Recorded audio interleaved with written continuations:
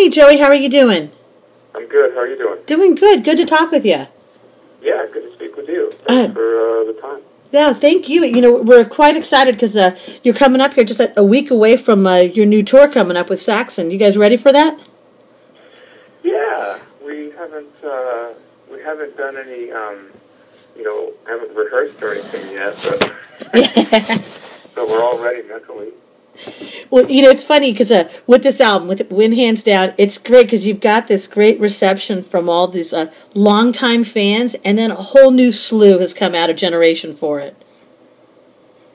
Yeah, you know, I I think I'm noticing that too. There's a lot of people who um, it's a funny thing with our band. It's not that funny actually, but it's a peculiar thing with our band that a lot of people like. I think our name and our perception uh, precedes us. It's, it's bigger than we actually are, and I think a lot of people know the name Armored Saint, but a lot of there's still a lot of people who have never heard of us, have never heard the music or Uh-huh. anything about us, and for a lot of people, they are have discovered us through this record, which is pretty cool. Yeah, it's it's funny because I've been hearing the same thing. When I, you know, sometimes people will tell me, "Oh man, I got this great new band," and I'm like, "New? Are you crazy?" So I turn them on to all the all the albums, and it's like this, like hold their eyes wide open. They, you know, they're like, "Yes."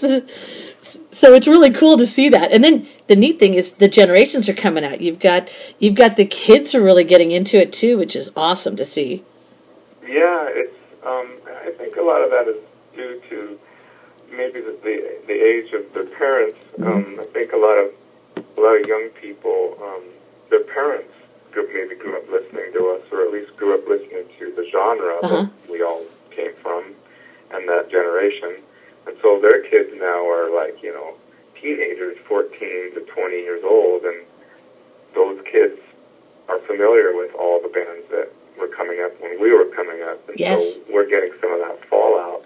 So that's amazing. You know, that's that's a cool thing. That is too. that is huge, and it, you know I've got to say with this album, it's interesting because uh, um, it's definitely you can feel the passion in this album with it, and it's it's actually also gives a lot of um, the lyrics. It's very personal. It's got a good connection with the with the crowd. How was it with the recording process with this album?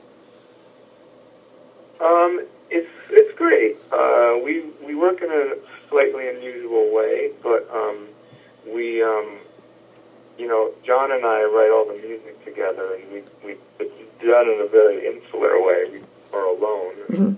Um, the group com- gets involved when the songs are finished written, and then we get together and start actually recording the record. So it's sort of done in like pieces Uh huh. pieces a little bit separately, and so we do, you know, the songs. Everybody gets music, uh, you know, prior, ob- obviously. So we're all getting absorbed by the music for. It takes us uh, like a year, 14, 16 months to write this stuff. So everybody is involved in it during the process, but we get together and we, you know, start doing the tracks and Mhm. we do the thing where we do the drums and then the guitars and bass, and we're all hanging out and doing it all together and spending time together and just you know hanging out, being Yeah. knuckleheads, and it's it's fun. You know, it's it's really, especially this record, there was a super super low stress uh, level. We just you kept everything lighthearted and fun Yeah. stressed over anything, and everybody gave amazing performances. And um, you know, John did all the vocals. We did those together alone here in my house. I have a studio here at my house, and we did all the vocals here. And um, you know, John's this record is probably the, one of the most revealing for John. He's always kind of peppered his records with some of his some of his own personal feelings and insights throughout the years, but this record has a lot of it. So, um, you know, I think he's just gotten to an age where he's comfortable with just being himself and wearing his heart on his sleeve. Uh huh. So um, he does it with his with his close friends, but he's never really done it with the public in this way. So it's been it's pretty cool. It is. It's a great because I mean you got this. It, it really comes across to this album. It's got the honesty and the passion. Just really shines through that. And like we were saying, it is a fun time because you get that vibe with with it. You know, it comes across really well. I, you know, got to tell you, one of my favorite tunes is, is the Dark Track Dive. I love that song. That's cool. Yeah, that's, that's a fun song. You know, it was interesting to do. Um, we we wanted to do something a little bit a little different, Mhm. and uh, we didn't want to write just a quote unquote ballad. Yeah. We wanted to do something that was, you know, that has, is close to me and has influenced me. I mean, I'm it's no secret. Obviously now it's no secret that I'm a huge Pink Floyd fan. So Yeah. um, and uh, when John came to me, he said, "You know, I would- really love to do something with a piano." And I said, "Well, let's just let's just do something that's like not not what you would expect. You know, not like a power ballad. Yeah. You know, a big you know tempo change and a big big gigantic climactic ending and everything. Let's just keep it kind of steady and hypnotic and dark and." Um, the, the piano sections are great. The song is it's a great platform for John's voice uh-huh. because he, he for the most part, you know, we write stuff that's super high energy, and he's always really high register, and he's singing loud and just you know screaming sometimes, you know, and he's got a, such a great voice. Mean, it's nice for him to be able to have a chance to just sing Yeah. in a low register, and it, it doesn't have to go up in volume, you know. And it just highlights it. That, that definitely that song definitely highlights it. Yeah. And it's interesting because you talk about the energy. You guys bring an incredible energy to the stage. I mean, do you guys do some type of pre-show ritual to harness all that energy before you get out there? some secret ritual or something? We don't really have any rituals. I mean, nowadays it's it's it's about um, maybe we're a little bit older, so we spend at least 20, 30 minutes literally stretching out. hmm Um, so we try to get the blood blood pumping, stretch your body out, stretch your arms, your legs, your neck, your back, and all that. And um, we just get ready for the onslaught. You know, we've never really had a ritual, but we we've always had this sort of thing with us. Our attitude has always been like, you know, when we go on stage, this is even from day one, Yeah. and, and that is that we're just our whole intention is to go out there and, for lack of, and I don't mean this literally, but I mean our intention is to go out there and just completely kill everybody. Yeah. Yeah. Want to go out and be so aggressive and in your face. Um, when we come out on stage, we all run up to the front, you know. So Uh huh. something that we've just always done that from day one.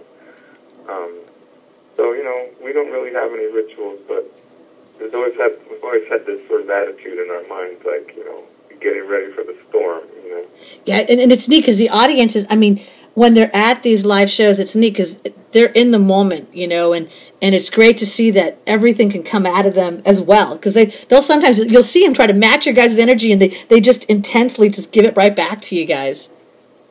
yeah. I mean, we've this is something again we've we've had since day one. Is we've always had a really close rapport with the audience. Um, there's been many, many times. We don't really do this so much now, but there's been many, many times where we would jump into the crowd, or you know, Yeah.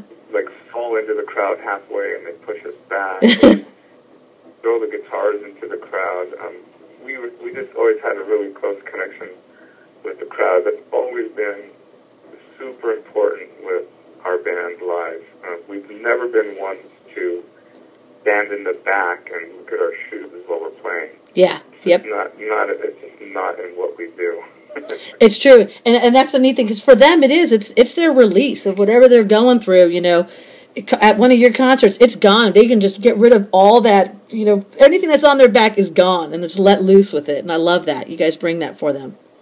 Yeah, yeah, that's that's good. That's what we've been trying to do. It's, I mean, you know, it's it's um the whole thing with music, and for us, has always been like this escapism. You know, um, it's kind of why we got into music was to get away from my parents' hmm school Yep, or the authority or whatever. And it's that's part of the whole thing with music and enjoying music is it's a place to just go away from the world. You know, even if you're going to see it like a traditional four-piece jazz group in a, in a small jazz club. I mean, you're there. You're there because you want to go. You want to get away from the streets and the traffic and Yep. the daily life. You know, you're there to to be in a place that's nowhere else. So Every adversary is urged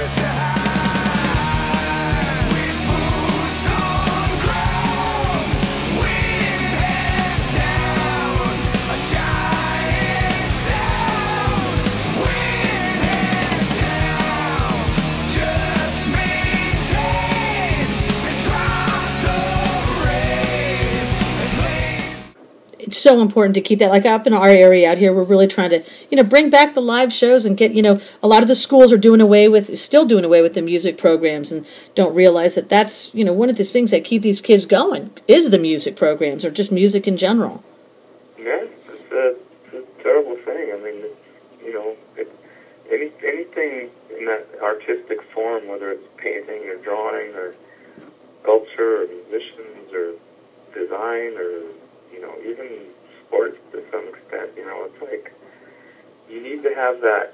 You need to have that um, place in your mind to be able to shut everything else out. You know, and be be in the moment. You know. Yep, yep, that's it. And and for you, okay, I got to ask you, you do some incredible nonstop touring and everything. And uh, what do you like to do in your downtime? Because I mean, you're busy touring. Here, they're going to be going out with, uh, you know, with Motor Sister in the UK in January. What do you do in your downtime? More touring. I catch, and I, I catch up with uh, all the things that break in the house. When I go home. um, so I come home with a long list of things that need to be done. Um, exactly. yeah. Uh, you know, it's stuff like that. It's, you know, just daily life stuff. I like to spend time with my family. I'm raising a daughter right now, and she's um, amazing. And, you know, I I have I'm, I help her with homework, and we spend a lot of time together. So I, I'm I'm mostly a stay-at-home father when I'm home. That's cool. That's cool. And also, you because you mentioned you have your studio, you do some producing as well.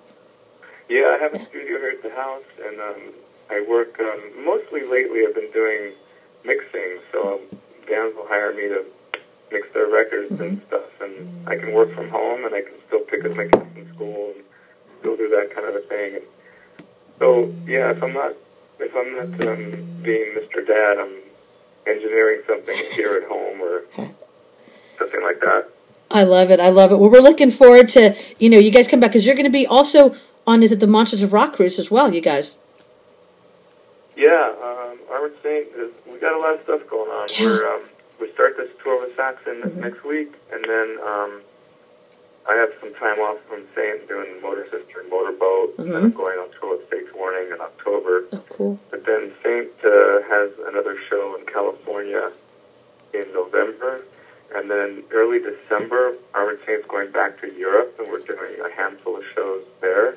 Awesome. A couple of shows we're doing with Accept, so that'll be fun. That'll be great. Yeah. And then, yeah, and then, um, like you said, uh, in January, I got the Motor Sister thing in the UK, and then we got uh, Monsters of Rock cruise with Armored Saint, and we're currently booking um, more festivals for next summer, going back to Europe, um, May, June, July.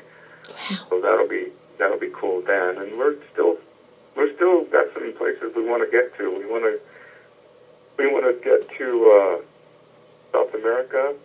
We want to get to Japan. There's some territories in Europe we haven't hit yet, so there's still some work to do. That is cool. That is cool. We're going to tell everybody to make sure to keep up to date on your sites as well. You know, be, check the tour dates and everything. And and lastly, is there anything else you'd like to share with our audience and your fans? Well, we tomorrow we're shooting a new video um, for um, an exercise in debauchery. It'll be our second video for this record, and we're, it should be really cool. The ideas, at least on paper, are super amazing. So I hope it comes out the way we think. Awesome. And um, so that should be fun. Looking forward to that.